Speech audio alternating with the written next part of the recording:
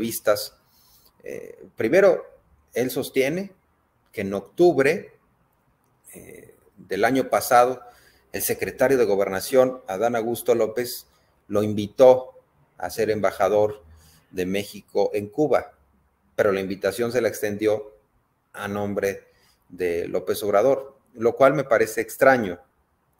Y lo dije desde ayer, ¿cómo es posible que inviten a alguien que pues ha traicionado a la izquierda y no sería la primera vez que traiciona, sino traicionó a Cuauhtémoc Cárdenas en el 2000 cuando se bajó de la campaña eh, primero eh, de Cárdenas eh, para ser candidato del PARM, porque como no le dieron la candidatura los del PRD, dijo, me voy. entonces, Cuauhtémoc Cárdenas era el candidato presidencial perredista, Porfirio Muñoz Ledo rompe con Cárdenas, se va al PARM, Partido Auténtico de la Revolución Mexicana. El PARM era un partido satélite del PRI.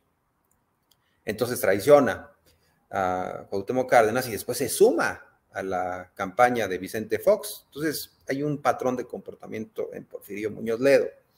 Y eh, después, ya en este sexenio, a pesar de que había eh, criticado severamente a López Obrador, quería ser el presidente nacional de Morena y estuvo cerca, imagínense. Y luego eh, quiso repetir como diputado federal morenista, hubo grillas internas, yo creo que le cobraron una factura a Muñoz Ledo precisamente por su posición eh, frente a la 4T y frente a López Obrador. Yo creo que es difícil que uno quiera ser parte de un movimiento eh, y al mismo tiempo estar como francotirador. Es el caso de Ricardo Monreal, por eso algunos lo hemos criticado. Decimos, tiene que haber congruencia en la vida pública, eh, en la política y en la vida misma, ¿no? Entonces, están en su derecho de pensar lo que quieran, de hacer lo que quieran, pero ser parte de un movimiento en el cual no crees, solo por el hueso, solo por tener una posición de poder, de poder me parece lamentable. Bueno, por ahí me decían que no se escucha, pero entiendo que sí se está escuchando, ¿no? y no le estoy hablando a la nada.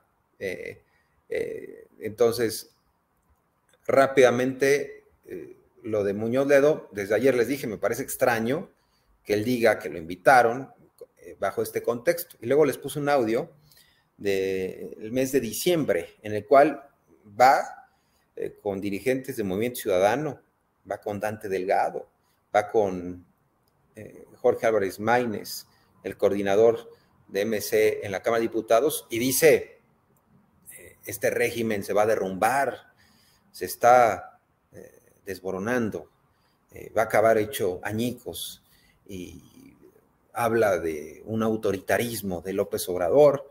Entonces dice todo esto y él espera que lo inviten de embajador. Pues me parece que una estrategia lamentable porque ahora le dieron un batazo.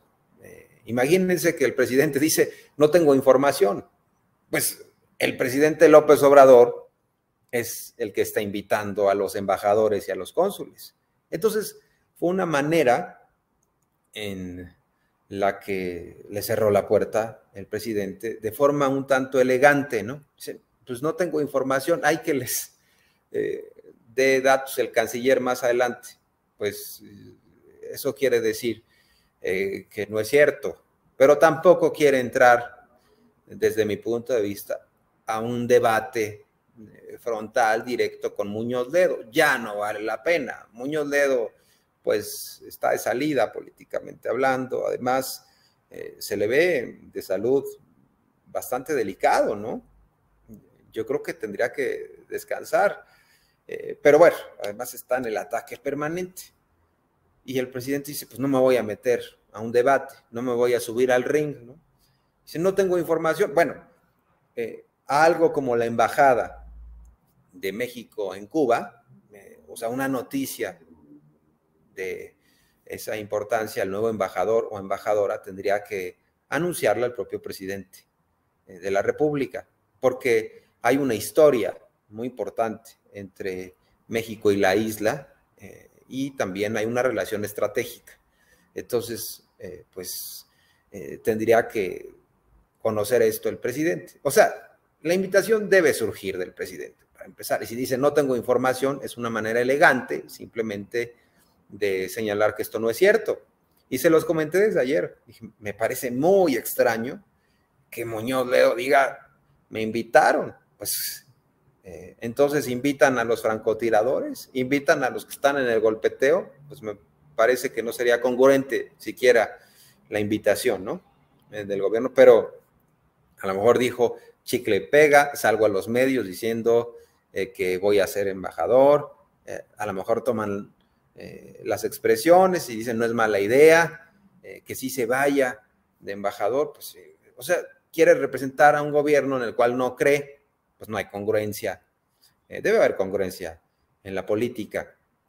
Entonces, vamos a escuchar eh, lo que dijo el presidente López Obrador. Insisto, le cerró la puerta claramente en las narices. No tengo información, ha comentado López Obrador.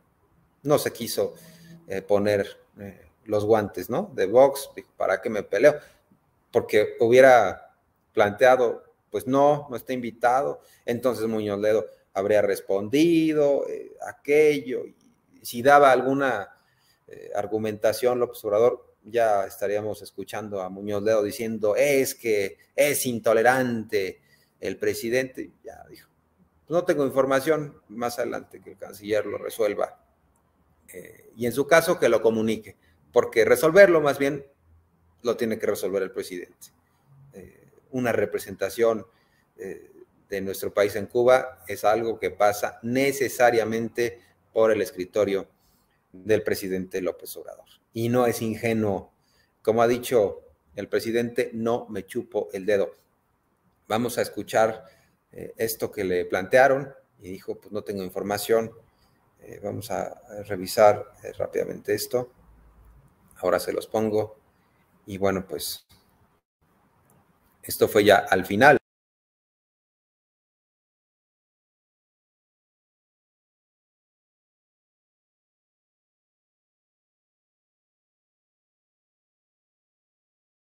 Este, hay un rumor de, el embajador de que este Porfirio Muñoz eh, va a ser embajador en Cuba.